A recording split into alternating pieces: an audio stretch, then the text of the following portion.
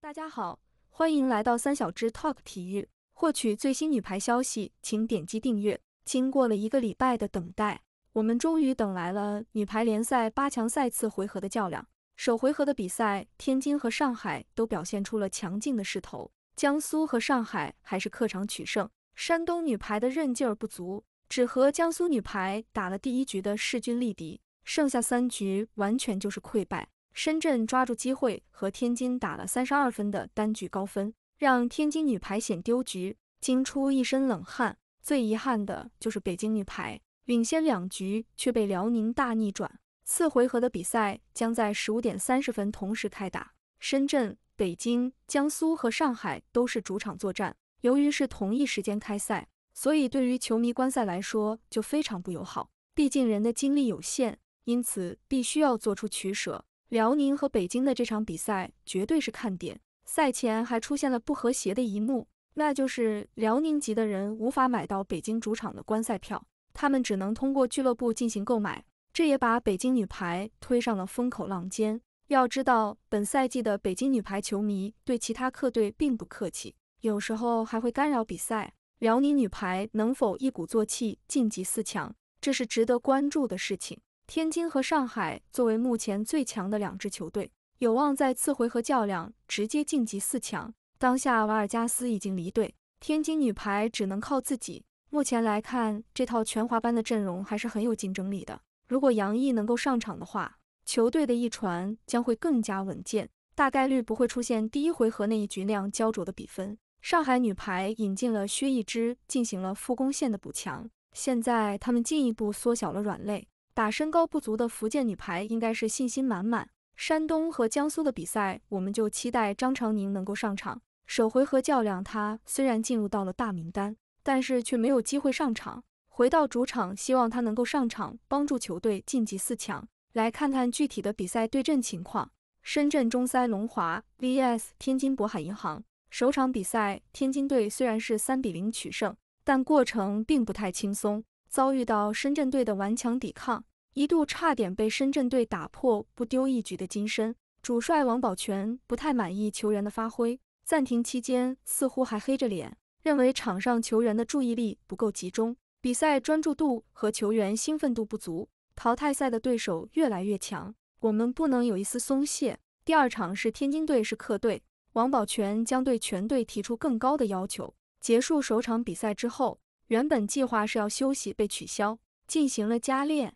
二十八号早晨，天津就飞往深圳，中午到达，下午就投入到场地的适应训练中。王宝全全场在抓细节，球队从扣球、发球、一传等都分别进行了训练。天津的气温跟深圳还是有比较大的差别，即使深圳的温度较高，但仍然需要预防流感。王宝全也一直在提醒球员增减衣物，注意身体。北京汽车 VS 辽宁东港草莓。在第一场比赛，北京队在二比零领先的情况下，遭到辽宁队的大逆转，所以这场比赛只有取胜才继续保留机会。两队的实力很接近，主要看临场发挥。北京队今年引进了外援拉扎列娃、拉佐维奇，还是很希望取得好成绩。相信他们的目标起码是要进入四强。王云璐作为国家队主力，在北京队需要承担更多的责任。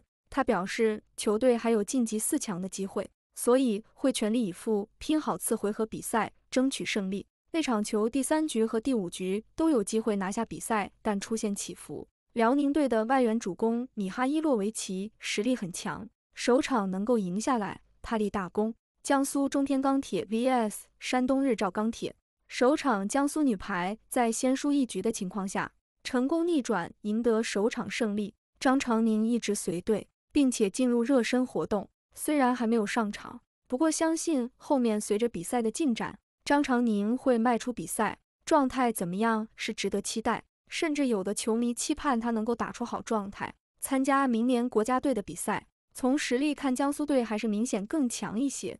上海光明优贝 vs 福建安溪铁观音，第一场上海女排三比一赢下，福建女排在后两局还是打出了不错的水准。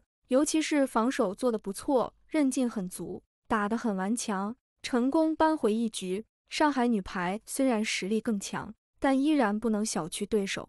说完联赛，再聊聊国家队方面。女排联赛第二阶段的比赛正在如火如荼地进行，晋级八强的球队正在为了最后的冠军展开争夺。而拥有多位国手的天津女排受到了关注。作为近年来国内平台的霸主，天津女排在联赛中连续夺冠，展现了自己的统治地位。今年又代表国内参加了世俱杯，并且获得了创造历史的第三名好成绩。优秀的整体实力，加上拥有当前国内排坛的巨星李盈莹，天津女排依然是本年度联赛冠军的热门。因为这一次在李盈莹的带领之下。其他球员的发挥也是日趋优秀，其中部分年轻球员用自己优异的表现，让自己的竞争前景一片光明。最显著的代表就是王艺竹。从联赛到世俱杯，在李盈莹发挥波动的情况下，王艺竹很好的完成了自己所扮演的角色。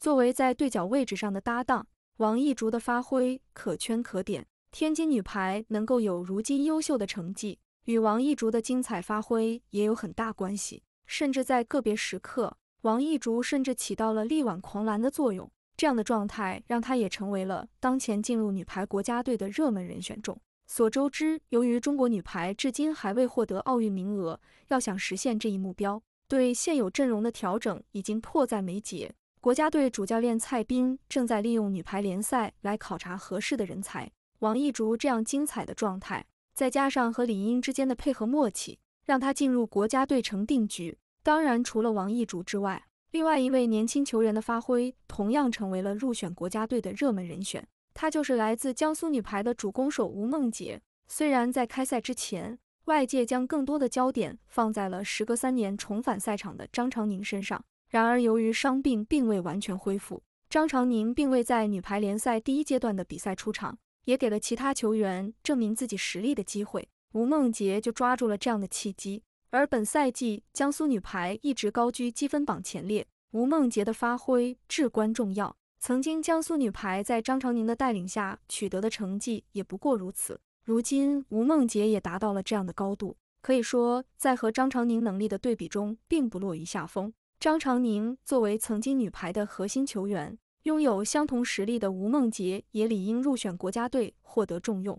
无论是王艺竹还是吴梦洁入选国家队，也符合女排更新换代的客观需求。当前教练蔡斌因为固执坚持使用一套首发阵容，不仅频繁引发争议，更让对手可以采取针对性的策略，调整思路和用人已经迫在眉睫。两位新人的精彩发挥，给了蔡斌调整用人思路的契机。那么，支持蔡斌重用年轻球员吗？欢迎留言讨论。